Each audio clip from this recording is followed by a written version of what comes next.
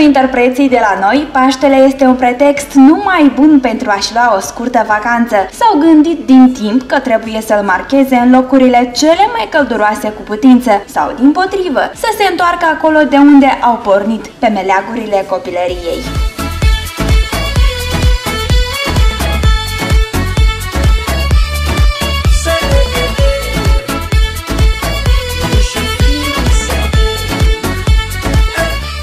Lenuța Burghila a sărbătorit Paștele peste ocean, tocmai în Statele Unite ale Americii. Artista a mers să-și viziteze fica stabilită în Los Angeles, dar în special cele două nepoțele. Aceasta a postat pe rețelele de socializare mai multe fotografii, iar în descriere. Ce poate fi mai frumos? Mai e puțin și iar ne va despărți oceanul. Îmi va fi dor mereu de nepoțelele dragi.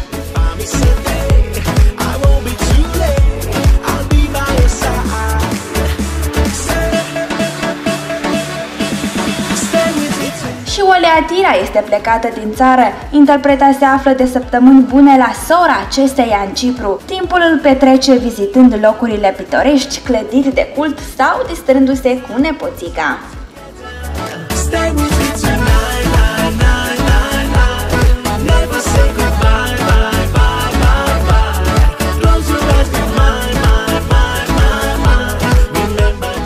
Olga Ciolacu a călătorit și ea, doar că prin amintiri. Artista a postat în ziua de Paște un colaj de imagini care ilustrează o vizită făcută de asporii din Padova cu ani în urmă, tot de Sfintele Sărbători, alături de Ian Raiburg, Gheorghe Urski și Vasile Moroșanu.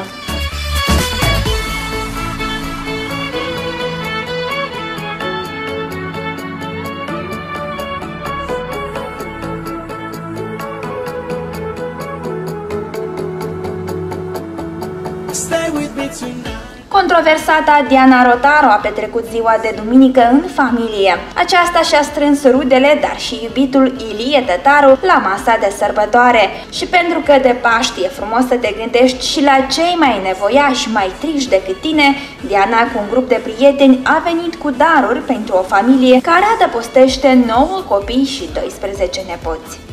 Cu daruri s-a ales și mămica Ludmilei Bălan. Într-o postare împărtășită cu fanii, vedeta a scris Când eram mică întotdeauna de Paști, mama îmi cumpăra rochiță nouă. Acum eu plec acasă să-i duc mamei rochiță nouă. Hristos a înviat, dragii mei. Artista nu s-a putut abține și a pozat ca pe timpuri în grădina copilăriei.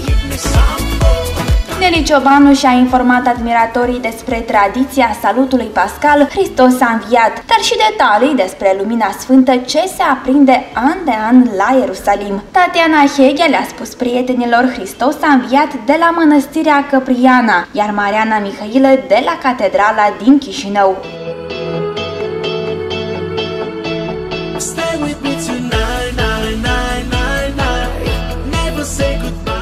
Ionel Istrate a preferat să mențină și în ziua de Paști tonul distracției. Interpretul a mers pe meleagurile copilăriei tocmai la Țâbuleuca, unde a petrecut alături de prieteni cu muzică, mici ruguri până la miez de noapte.